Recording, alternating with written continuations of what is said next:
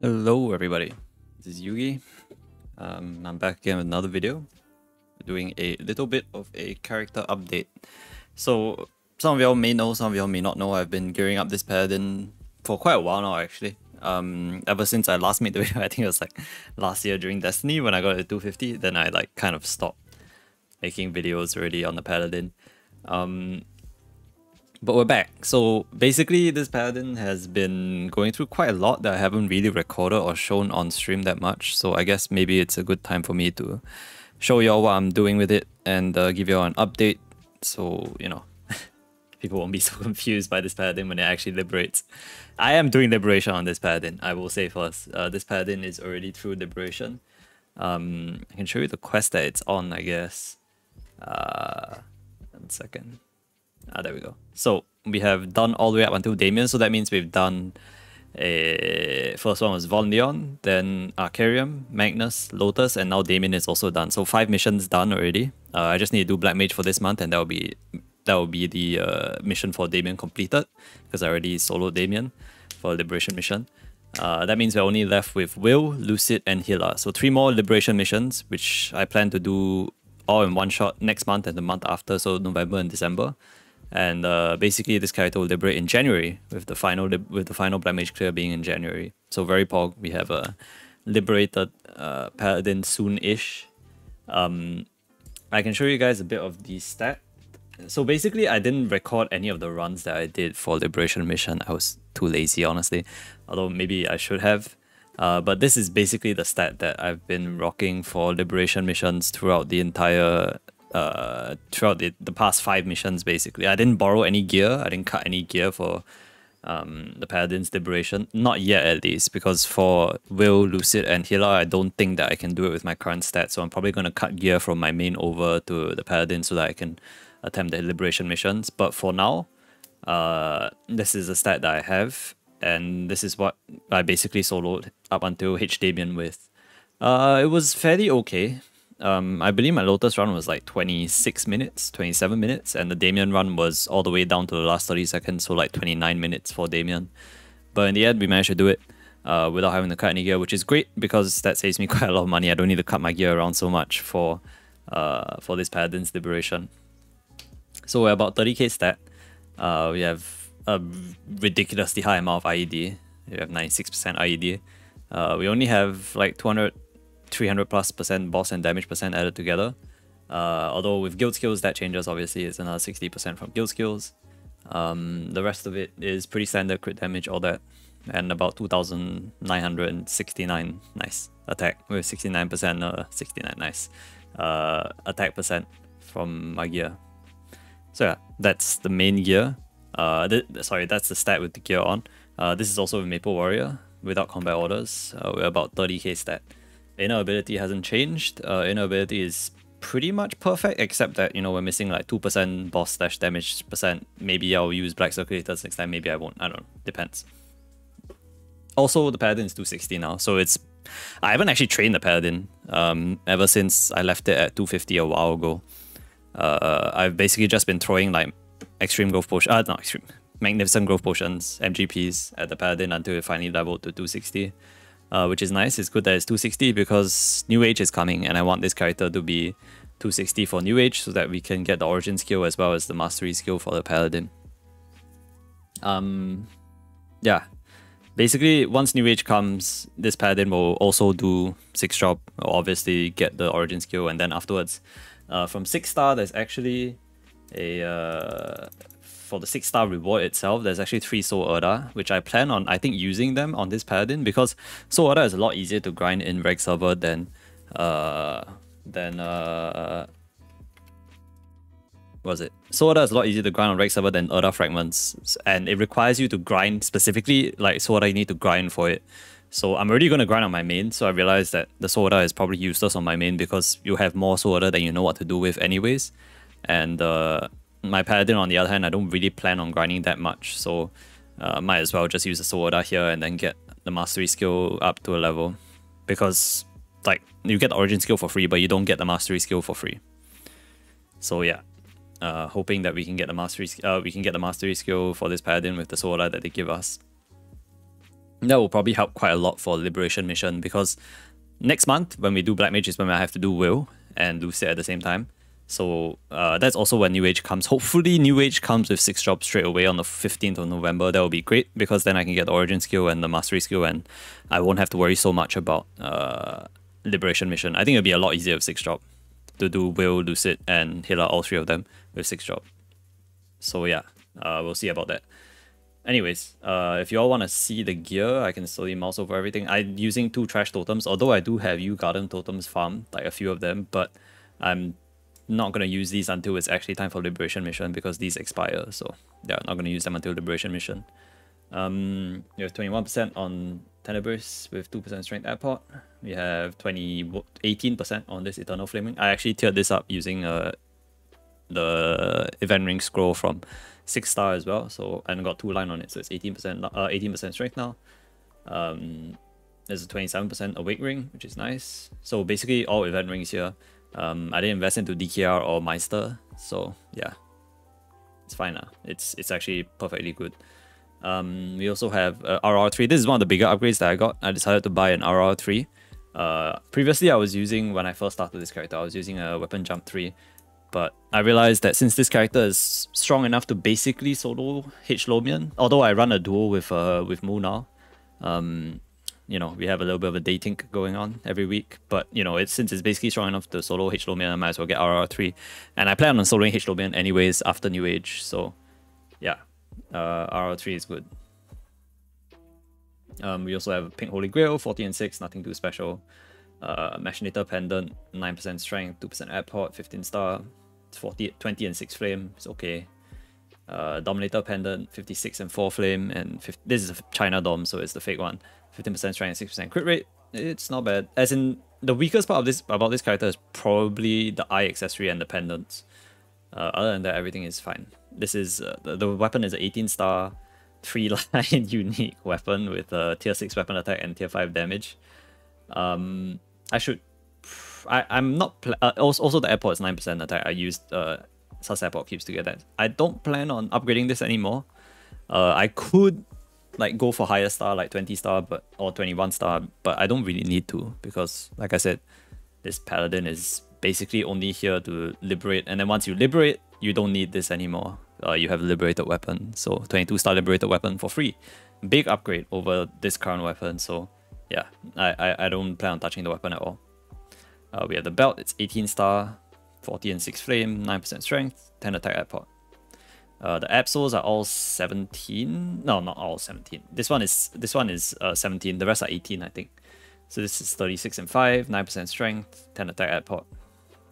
Uh, yeah. I plan on replacing this with a Fafnir helmet in the future. Either replacing it with a Fafnir helmet or like cutting my main Fafnir helmet over once I go Eternals. I don't know. I'm still undecided on that. I might want to replace this with Eternals by itself anyways, like 17 star Eternals as well. Maybe uh, once I, you know, 22 Eternals on my main, I might want to do 17 Eternals on the Paladin. I don't know about that yet. Uh, think about it. Anyways, moving on. Okay, this is the, one of the bigger upgrades, one of the newer upgrades. We got 22 star Penombre mark. Um, I made this myself. I started by starring like uh, shiny red Meister symbols and 20 starring them, then transfer hammer to Penombre and tap the last three stars basically. I don't think it blew up. I don't think it blew up a single time, which is great. The flame is decent. The main pot is 15% strength and 10 attack at pot. Pretty good. I also have two set Dawn, as you can probably tell. The Estella Earrings are also there, so you get an extra 10% boss and 10 magic attack and 10 all stat from this. Uh, Aquatic Letter Eye, one of the weaker pieces that I have right now. I haven't had much luck dropping uh, Black Bean marks on this character, unfortunately, so it's been stuck with the Aquatic Letter Eye for quite a while now. Um, was thinking about either Papu Mark or just 20 star eye patch. Uh, I mean, eye patch. Sorry, 20 star black bean mark. Um, but whenever this character drops a black bean mark, I guess I'll star it again to 20 star and hopefully it goes and we can use it. Uh, Papu mark probably too much of a waste on this character, so I don't plan on going it. Basically, the plan for this character, uh, I'll talk about that later. Anyways, um, we also have the Eagle Eye Warrior Armor. This is 22 star. Don't ask me why it's 22 star. There was a, I think two Shining Star Forces ago, I just clicked this for fun and somehow it went to 22. so 22 Eagle Eye Warrior. I haven't even traced it properly yet. It's still 30% traced with one remaining slot to be traced, which is kind of dumb, but whatever lah. It's 22 star, it has a bunch of weapon attack. It's pretty good. Uh, 18 star Fafnir, 40 and 6 flame, 9%, uh, 6% strength, and 2% strength airport. Um, it's okay. All of this is 30% trace, by the way. I haven't 15% trace any of this. I'm too lazy. Or rather, it costs too much money lah, to do to do it for Absol and for Fafnirs. Uh, we also have Absol shoes. This is 45 and 6, 45 and 5 flame. Uh, 18 star also, which is not bad. Uh, 9% strength main port and 2% uh, 2% all stat airport and 10 strength. Next we have Estella earrings. These are quite a nice flame, 57 and 5 flame. Uh, it's also 22 stars, so it's the total of 102 weapon attack. Uh, I believe I used... Okay, so this one is Prem Ward. This one is fully Prem Ward, if I'm not wrong. Uh, it just lacks one slot. Um, and this one is also Prem Ward. The first two slots are Prem Ward, so another four slots to go. So I'll probably do the Prem Warding of this during New Age when we get more Prem Wards from the boss coin shop. Uh, it's 12% strength main pot and 2% strength airport. 22 star. Pretty good. So this is my two set Dawn boss. Uh, I probably... I'll consider going Daybreak in the future, like 19 star Daybreak maybe, or maybe even 22. I might tap it to 22 just for fun. Uh, I'll think about it. But I don't know if I want to make more upgrades. I'll think about it once we, I actually liberate and I get a good gauge of how strong this character actually is first before I make any changes to the gear. Okay, moving on. Uh, we have 18 star Absol Bastion Pauldrons. These are 18 star. I don't think the scrolling is anything good. I believe I just 30% traced it. Oh no, there's no scrolling at all. Never mind. 9% uh, strength main port and 10 attack airport. Uh, 18 star Bastion gloves. These are 9% strength main port and 4% strength airport and 10 attack. It's also 61 and 4 flame, which is not bad. Uh, also not traced. Also 30% traced, by the way. Everything's 30% traced. Uh, trash Lidium Heart. Don't look at it. It's trash. 18 star Bastion cloak. 6% strength, 10 attack um, 45 and 5 flame. And we have the secondary. This secondary was quite lucky. Or I don't know whether to call it lucky or unlucky. Because like I tiered it up during the last event.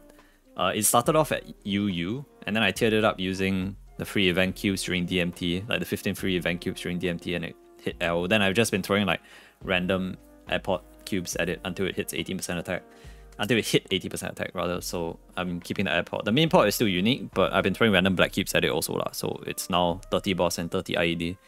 Uh, maybe I'll tear it up during the next during the next uh, DMT. Maybe not. I'll think about it.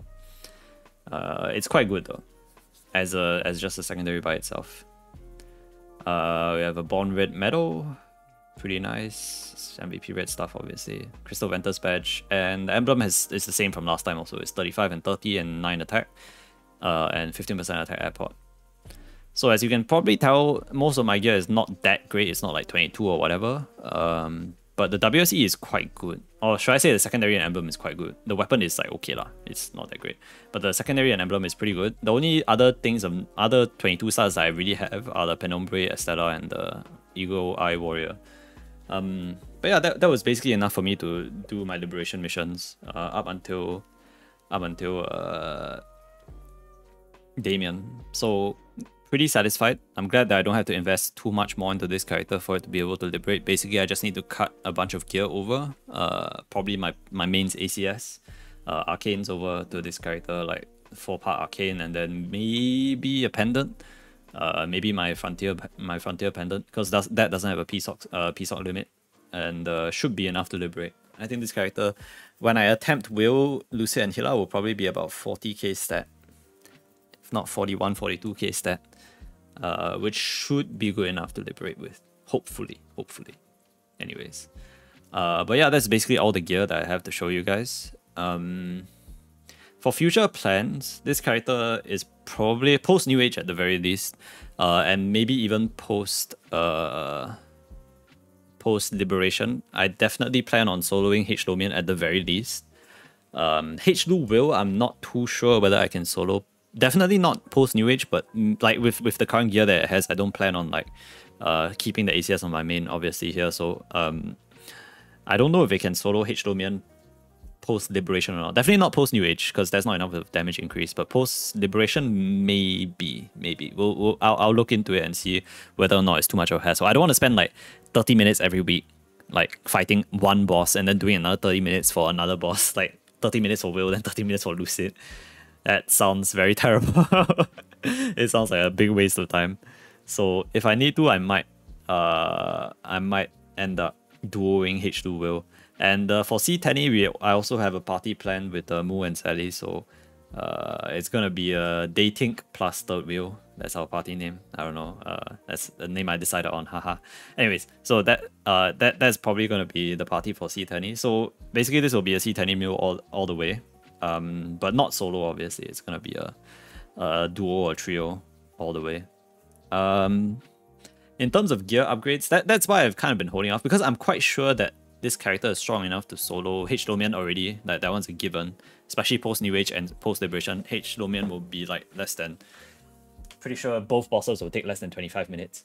Um, but I don't know how much of an upgrade or how much more upgrades I should be making on this character so that it's able to do certain other content. Like if I want to solo H do Will, I'm not exactly sure how much more I'd put in because I'm not sure about how much of a power spike I'll get from Liberation and from uh, from New Age yet, from Six Job yet. So I'll decide once I get there. If I'm close enough to being able to solo H do Will comfortably, then I will continue to make some upgrades so that it will become a faster run, obviously. Uh, things that might happen are things like a Daybreak to replace this Machinator Pendant, like a 19 or 22 Daybreak, not decided yet. Either one, 19 or 22 Daybreak for this Machinator Pendant. That will be a big upgrade, really, really big upgrade. Uh, other thing is probably to swap all of my gear to arcanes, um, like all of this, because 18 star absols are fine and all, but if I really want to like commit to making upgrades, I might as well do them on arcanes instead of doing them on absols, right? So I do have like a couple of arcanes prepared. I'm pretty sure. Yeah, I have like uh this which I 15% traced the last uh 30% uh the last the, the last Sunday which which had 50% off spell trace and also this, which I kind of halfway spell traced and I kind of gave up. so I might make the switch over to Arcane sooner or later. Um, not 100% decided yet on that. I mean, it will be a slow process uh, to swap it over, and I don't know how much benefit it will bring me anyways. Eventually, once I hit a point where I feel like it's worthwhile to upgrade them, I'll upgrade them so that I can solo H2 will and make our C10 runs faster. But yeah, that's pretty much uh, the update for the Paladin. Um, I don't really have anything else to show y'all. Uh, this is like, I just showed you guys my stats basically and what I plan on doing with the Paladin in the future. Uh, I also am raising another character. I'm raising a dual blade. Uh, where's my dual blade? There, here.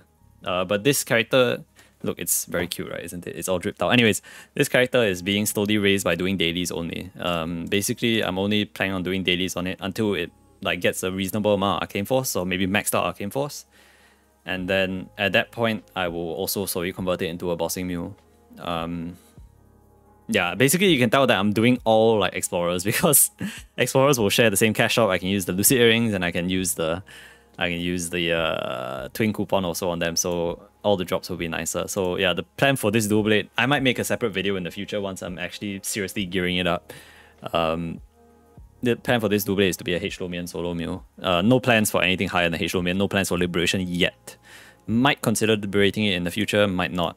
Um, it really does depend. But for now, it's just a Paladin Liberation. Once that's out of the way, and once I'm settled with 6 job on my main, and I'm happy with all my Hexa stat levels and my 6 job levels for all my cores, then I'll start thinking about, you know, uh, a third, a third character to do H bosses on. But yeah, uh, other than that, I've actually pretty much abandoned all the rest of my characters. I Kana obviously is out of the question. I've stopped playing the Kana completely. I've transferred everything from Kana actually, like all the gear, not not the gear, sorry, but all the the TP rock and like the the fashion. I've transferred it all to the dual blade. and uh, obviously Hayato I don't care about. The Yumo I put in effort, but I can't I really don't like playing Yumo, so Yumo is out of the question. Night Lord I've kind of given up on also. I don't really like Night Lord's playstyle. It's quite boring to me. So yeah next highest is uh, blade. I think I, I quite enjoy playing dual blade. It's not bad. So that's something to consider for the future. Anyways, uh, that is all. This is kind of running long already, this video. Thank you guys for watching the video, and uh, I will see you all in the next one. Have a good one.